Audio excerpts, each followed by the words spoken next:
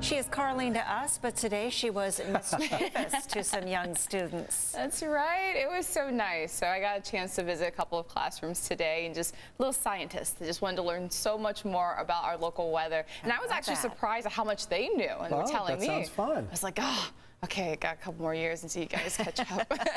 but it was really cool. So I want to go ahead and give a big thank you to uh, San Diego Global Vision Academy for having me today. Ann Bartholomew invited me out to talk to her class, and I also got to talk to another class, and that was Andrea Davis's. So it was absolutely wonderful. As you can see, they had on their walls description of our local weather forecast, and I was trying to show them how to create a tornado in a bottle, and this was Ann Davis's class, or excuse me, Andrea Davis's class earlier today. We took some goofy pictures.